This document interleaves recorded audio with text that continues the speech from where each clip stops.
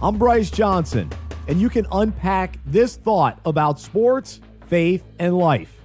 Devonta Freeman has had a productive career as the Atlanta Falcons starting running back, but unfortunately, he's been plagued by injuries the last two seasons, and in 2018, he went on injured reserve. As you'd expect, it was a tough time for Freeman. But reporter Kelsey Conway explains in her AtlantaFalcons.com article that Freeman found value in the time off.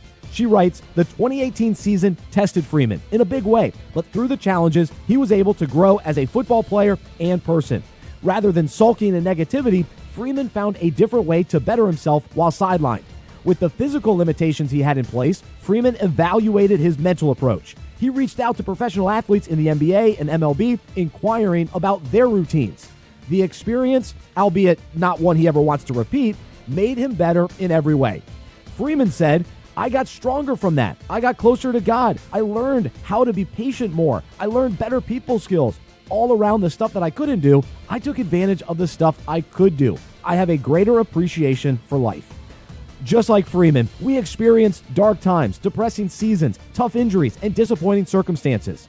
During those times, though, are we more likely to sulk in negativity, complain, and give up? Or do we view them as an opportunity to grow in certain areas?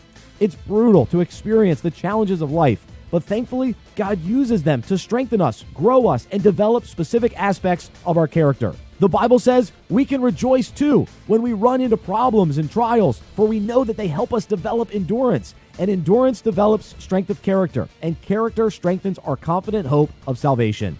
Today, let's not waste our hardships, but rather seek God, embrace the opportunities available to us, and trust that when it's over, we can say, I got stronger from that.